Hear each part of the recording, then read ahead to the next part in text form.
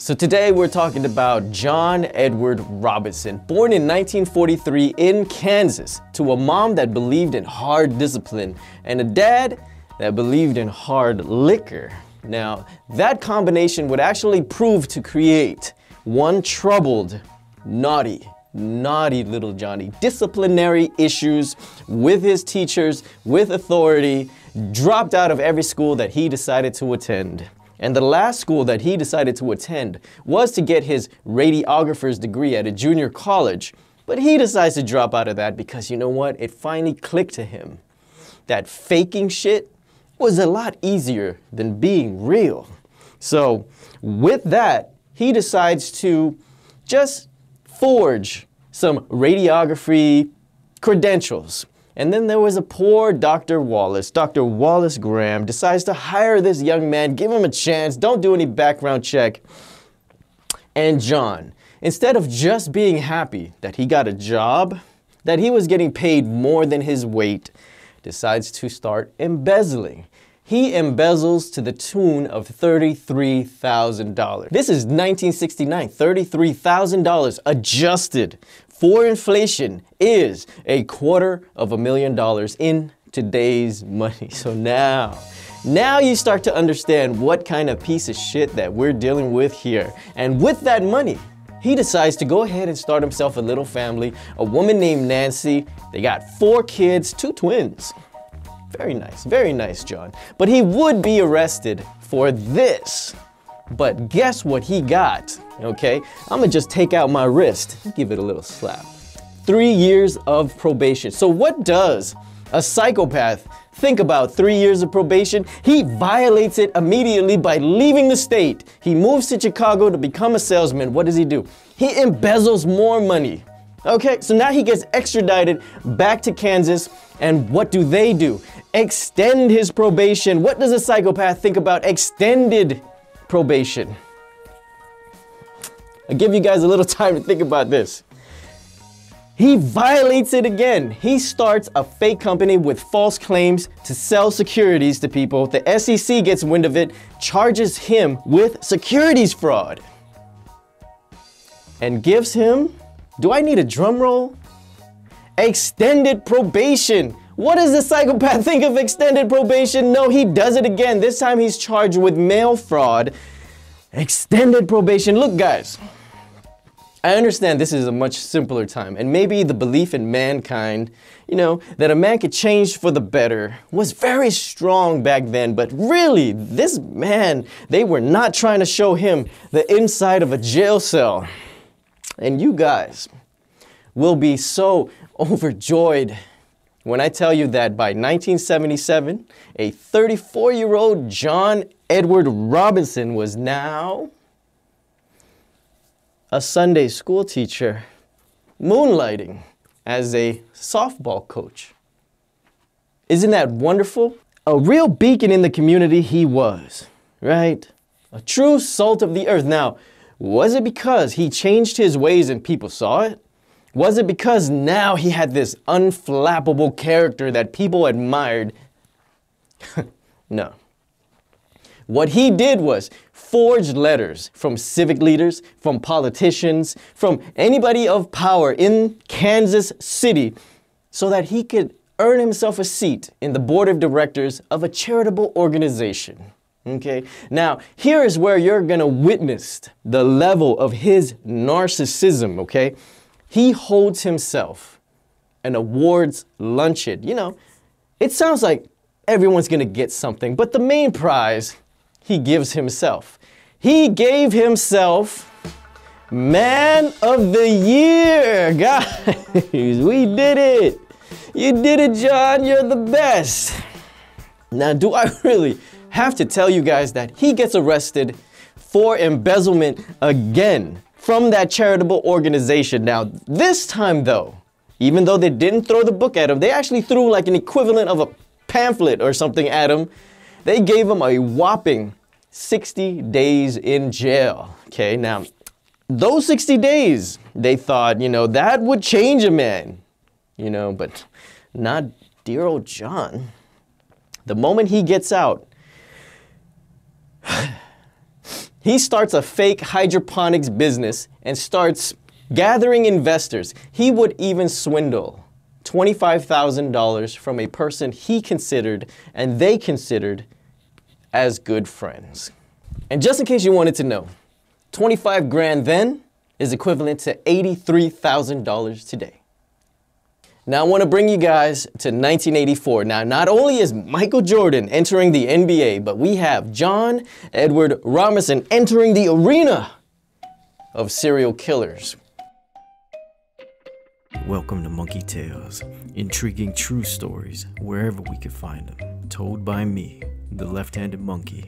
If your idea of a good time is a good true crime, then subscribe or you're gonna regret it. Now, I want to share with you guys a story, okay? Now, it's very heartbreaking, but it's also very heartwarming, okay? It happened in 1985 when a 19 year old Lisa Stasi checks herself into a battered woman's shelter called Hope House with her four month old infant daughter, Tiffany.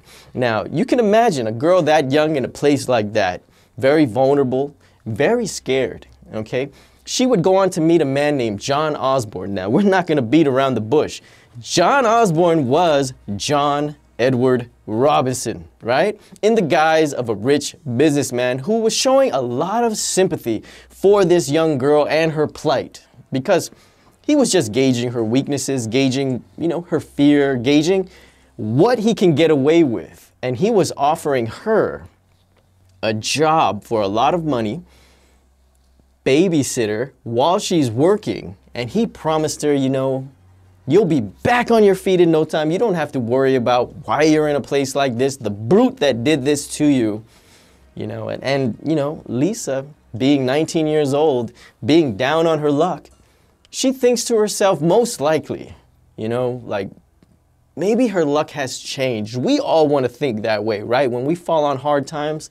So she accepts the offer. So of course, there is no job waiting for 19-year-old Lisa Stasi. Whatever plan that John had for her, she would never be heard from again. She would never be seen again. And as a matter of fact, her body has never been recovered till this day. Now let's go ahead and move back to that point and just move a few days forward. John calls his brother with some amazing, fantastic news. See, John's brother has been trying to conceive with his wife and they just could not do it. They went through the adoption process and just found it a complete nightmare. But John, he was able to do it. You know, he talked to a few higher ups, he pulled a few strings, and he did it for $5,500. You know, customary legal fees. If they paid that, they would have themselves a four month old baby girl in their care in no time. John's brother was ecstatic. Paid the money, they got the baby. I don't, I don't have to tell you, right, who that baby was. Okay. They would go and rename her Heather Tiffany Robinson, and she was raised by two loving parents. One of them was John's brother. Now, that goes to show that the way their mother was and their drunken father was did not fuck up anybody. John was fucked up on arrival. So Tiffany was placed in a very loving environment. And John, well, she's always known him as Uncle John. Well, that was until the year 2000 when the cops arrested Uncle John and charged him with numerous murders, certified serial killer and the cops would look at Heather, Tiffany, and just scratch their heads and they knew about this fishy adoption that happened between John and his brother by now. So they had her go ahead and take a DNA test and it would prove to them and reveal to her that she was the daughter of the missing Lisa Stasi, one of Uncle John's victims. Now, we have to look at this story this way because there's just been so much darkness, okay? Now, even though Lisa made that fatal decision that day to go with John, that decision actually gave her daughter a very good life. So hopefully that brought a little light to all this darkness, you know, made, made you guys a little bit more happy. But that can't last long with John because I gotta drag, I gotta drag you guys back to 1994. And that is when John discovers the internet. So now you have John just scouring these naughty, naughty chat rooms looking for his next victim under the username Slave Master. So he was just looking for his slave. Anybody that liked to roleplay as the submissive one, just hit John up. You know, this pudgy, creepy looking dude. But you know what? He'll satisfy your needs. And unfortunately, he sent that out into the internets enough that 45 year old Sheila Faith would take the bait.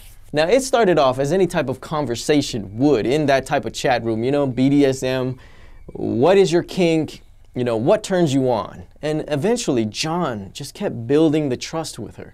He kept building that trust until eventually they were just delving into real life. Now, of course, he was a rich businessman.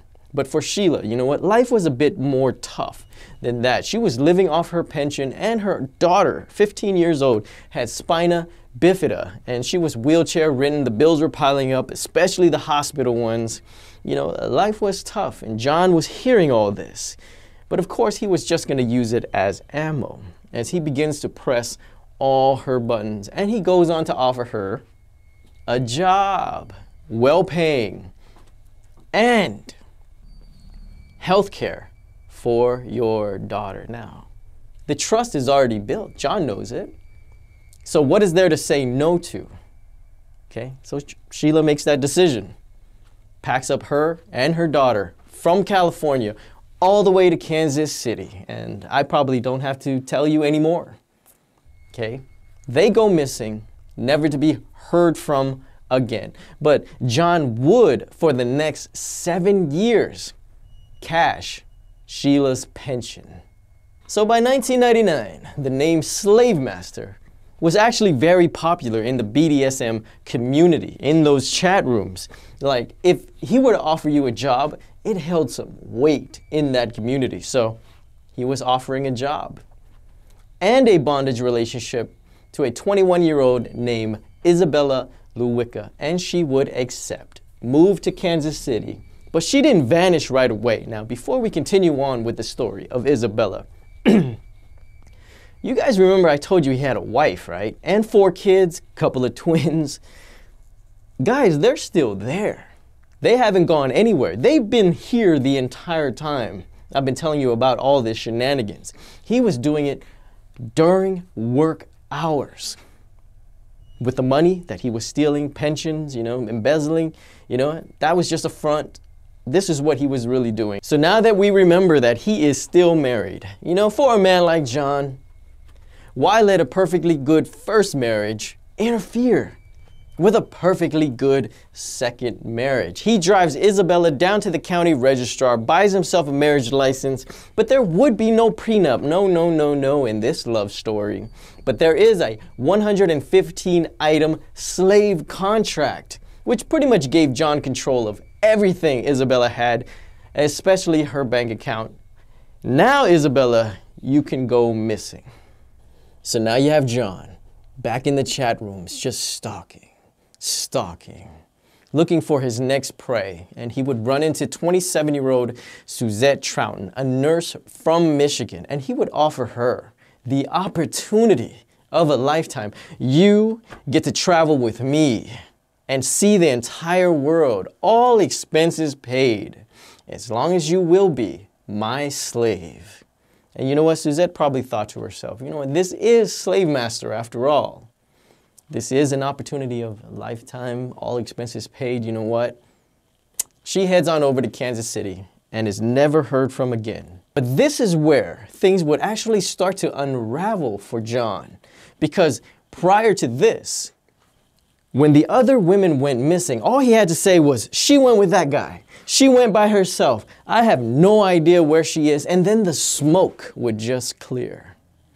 And he would go about his business. But not with Suzette's family. Because the moment that she went missing, his phone was already blowing up by her mother asking questions. And other loved ones, they were calling around Kansas City because they knew where she was supposed to be, who was she supposed to be with, and reporting her missing. Now, John was, you know, he was starting to feel the pressure. You know, the walls were closing in. What John chose to do would actually make it much, much worse for himself. He was typing out these letters, putting Suzette's name at the bottom as if it's from her, sending it out to those pesky family members like her mother, you know, to give them the answers to these darn questions that they were asking, like, where is she? Okay. But the family members picked up on something. Suzette would never, ever misspell her dog's names. And even more egregious was the fact that the letter was so well written. And their family knew that Suzette was a terrible writer. And what would this do? It would actually awaken that beast that has always been out for John the Kansas City Police Department. And you know what? They would nudge their buddies over in Missouri. Hey, guess, look at this guy. And now Missouri had their eyes open too. So they started surveilling John at his house. They were even going through his garbage. Okay, and one night they were able to find a bag that was just full of shredded documents. They took that back to the station, laid it out on the table, and painstakingly taped each piece back together. And they would learn about a locker storage room in Missouri and a little farm in Racine, Kansas, not too far away. So the team that was responsible for surveilling John were witnessing him put up different women in different hotel rooms. And there was that one night where he just didn't want to do himself any favors. He decides to beat the living daylight out of one of them. She manages to escape tell the police, and she wanted to press charges. Then another woman comes forward and says that he stole $500 worth of sex toys from her. She wants to press charges. So now police have what they need to go knock on John's door,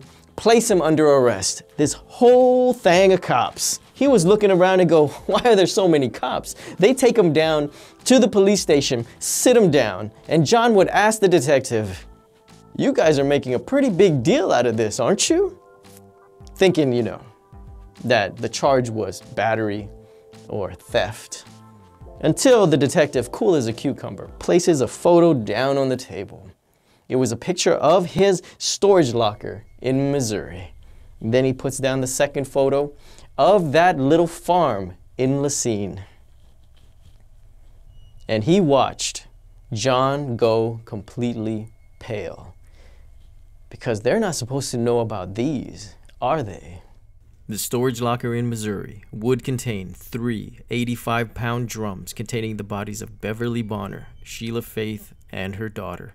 At the farm, in similar drums, they would uncover Isabella Lewicka and Suzette Trouten. He was sentenced to death on January 21st of 2003. He's still serving in the El Dorado Correctional Facility, a maximum security prison in Butler County, Kansas, as of the making of this video. So if you guys enjoyed this video, please hit the like button. And if you guys want my weekly uploads, then go ahead and subscribe. Now, if you guys know a naked baby, go to happyaddition.com my wife and I sell baby onesies and we'd appreciate it because it would directly support the channel. Now here is your Guess the Punchline. Why do I put a nacho on my shoulder before I do competitive sports?